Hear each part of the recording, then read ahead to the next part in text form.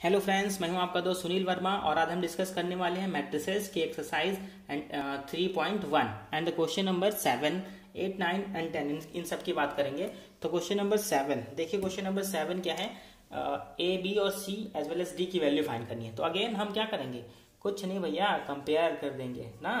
तो on comparing वो the side we have A minus B is equal to भाई A minus B की जगह यहाँ क्या लिखा हुआ है? Minus one very good and two A minus B की प्लेस पे आप देखेंगे तो यहाँ क्या है? Zero. That's it next one again हमें यहाँ दिख रहा है कि टू ए प्लस सी की प्लेस पे क्या है? देखिएगा भाई।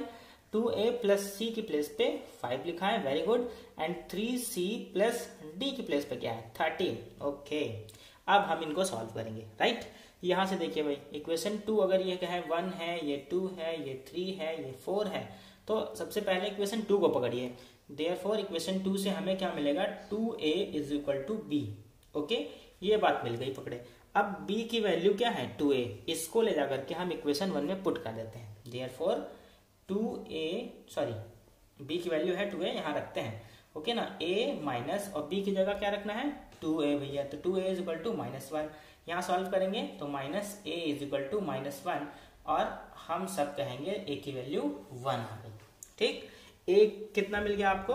वन मिल गया। क्या इसमें कोई प्रॉब्लम है? नहीं, बिल्कुल नहीं है।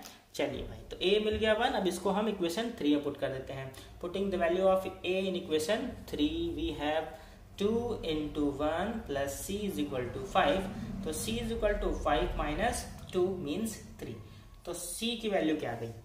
थ्री इसमें कोई दिक्कत नहीं। अब सी की वैल्यू पुट कर दीजिए लास्ट में। इस सी की वैल्यू इक्वेशन फोर में पुट कर देंगे।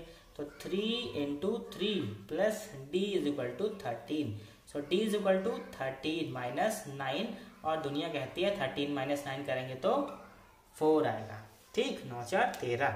क्लियर हो गया?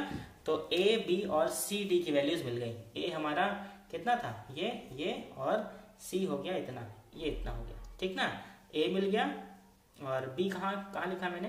बी को बी तो यहीं से मिल जाएगा, जैसे ए इतना है। A is equal to one therefore B is equal to two into one तो बी कितना आ गया? टू ठीक ओके ये हो गया।